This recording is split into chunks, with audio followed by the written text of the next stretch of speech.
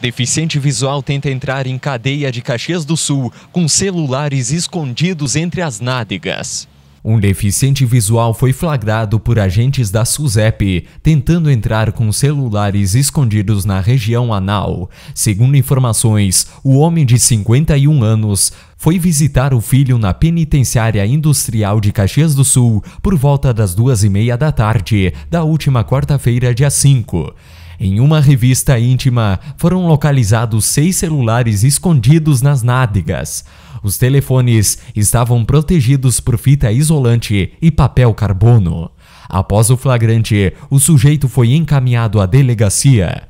O homem foi liberado depois de prestar depoimento. Foi emitido um termo circunstanciado e ele responderá pelo crime de facilitar a entrada de aparelho telefônico de comunicação móvel sem autorização legal em estabelecimento prisional.